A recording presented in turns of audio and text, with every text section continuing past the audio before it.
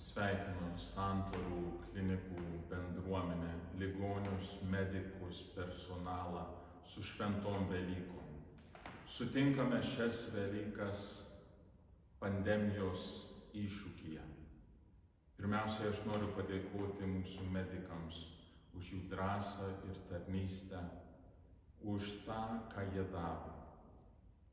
Nepaprastai gražiai atspindite Jėzaus Kristaus įsakymą duotą mums - mylėkite vieni kitus, kaip aš jūs mylėjau.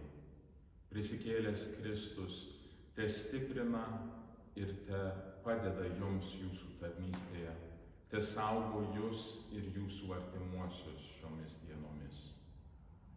Mūsų ligonėms, ypač COVID sergantiems, noriu priminti, kad Kristaus prisikėlimo pergalė yra visų mūsų pergalė ir vilties šaltinis. Jūs niekada nesate vieni. Jūsų lygoje, skausmuose ir baimėse jis yra šalia.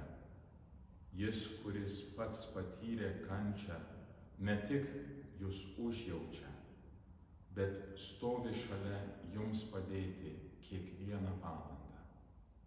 Atsiremkit į jį. Prisikėlęs Kristus, Dievo gailestingumas siekia jums padėti, sustiprinti ir suteikti sveikatą ir ramybę.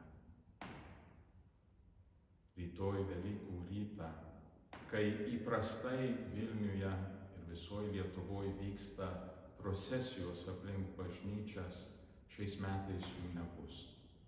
Bet labai noriu, kad jūs pajustumėte prisikėlusio Kristaus artumą per šias Velykas. Todėl rytoj 11 val. atvyksiu pas jūs su švenčiausiųjų sakramentu ir suteiksiu jums palaiminimą santorų klinikų infekcinės ligoninės kiemelyje, kad jūs pajustumėt Dievo meilę, artumą šią mūsų visų, o ypač jūsų išbandymo valandoje. Meldžiuosi už jūs visus, prašydamas Dievo palaimos sustiprinimo.